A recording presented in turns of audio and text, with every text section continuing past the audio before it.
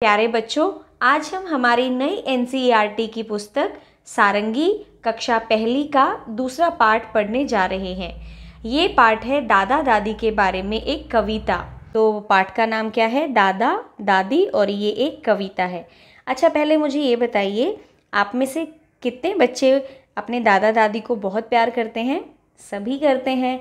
क्यों करते हैं? क्योंकि दादा दादी हमसे प्यार करते हैं, हमारा बहुत ध्यान रखते हैं, है ना? आप में से कुछ बच्चे अपने दादा दादी के साथ रहते हैं और कुछ किसी कारणवश दूर रहते हैं। लेकिन भले ही आपके दादा दादी आपसे दूर रहते हैं, वो आपसे बहुत प्यार करते हैं और हमें भी अपने दादा दादी का बहुत ध्यान रखना चाहिए। तो पहले हम कविता गाएँगे, उसके बाद हम इसके शब्दार्थ देखेंगे। चलिए, शुरू करते हैं। आप मेरे साथ साथ गाइए। एक हमारे दादाजी हैं, एक हमारी दादी। दोनों ही पहना करते हैं बिल्कुल भूरी खादी। एक हमारे दादाजी हैं, एक हमारी दादी। दोनों ही पहना करते हैं बिल्कुल भूरी खादी। दादी गाना गाया करती, दादाजी मुस्काते। कभी कभी दादाजी भी कोई गाना गाते। दादी गाना गाया करती, दादाजी मुस्काते। कभी कभी दादाजी भी कोई गाना गाते। तो ये हमारी कविता है प्यारी सी, दादा और दादी के बारे में। चलिए अब इसके शब्दार्थ देखते हैं कि एक हमारे दादाजी हैं, एक हमारी दादी हैं और दोनों पहनते हैं भूरी खादी।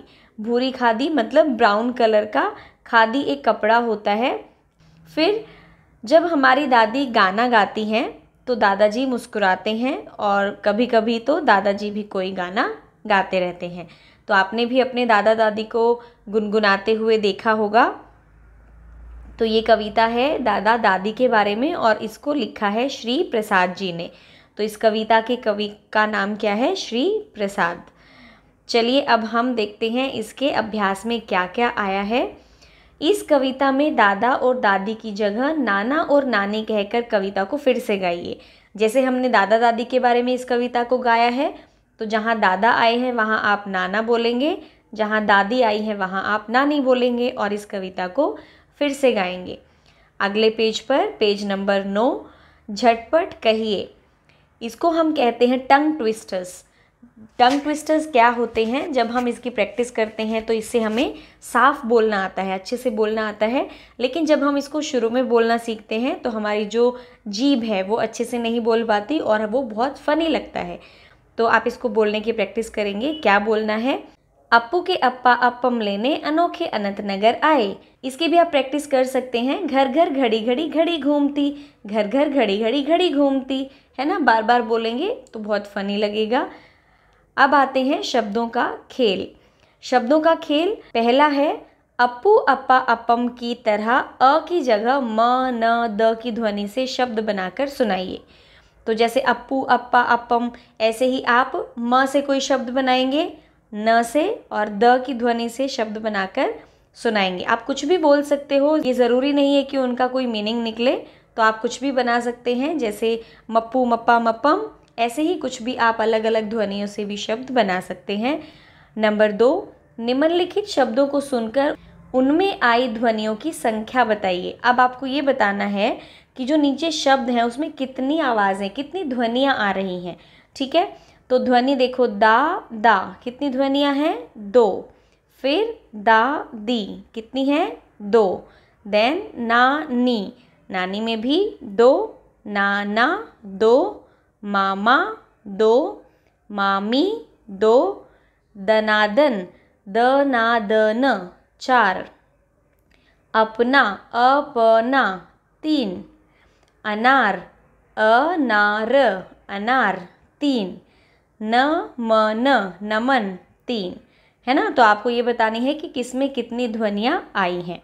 नंबर तीन, बोल मेरी मछली कितना पानी। ये आपने गेम खेला भी होगा और इसमें आप बच्चों के साथ मिलकर, अपने टीचर के साथ मिलकर भी इस गेम को खेलेंगे तो बहुत मज़ा आएगा। अभी इस चित्र में देखकर आपको ये बताना है कि मछलियों की संख्या कितनी है।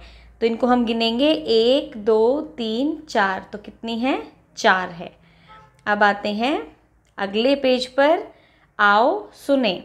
तो हम देखते हैं क्या सुनना है। आओ सुने। पहला है अपना अनार। तो अपना और अनार में इन दोनों शब्दों में पहली ध्वनि कौन सी है? जैसे हम इंग्लिश में भी करते हैं इनिशियल साउंड है ना? तो पहली ध्वनि, पहली कौन सी आवाज़ आई है? अ, और इसमें भी अ तो दोनों में कौन सी ध्वनि पहले आई है? अ आई है। उसके बाद, नंबर दो, जिन शब्दों की पहली ध्वनि अ है, उनके आगे सही का चिन्ह लगाइए। चिन्ह होता है निशान। तो देखिए, अनार अनार अ पे आया है तो हम चिन्ह लगाएँगे, टिक करेंगे। फिर अमरूद इस पे भी अ है। अदरक अदरक अदरक इस पे भी है।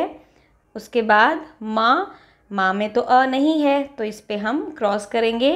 दादा, इसमें भी अ नहीं है। घर घर घर में भी अ नहीं है तो इसको भी हम क्रॉस करेंगे।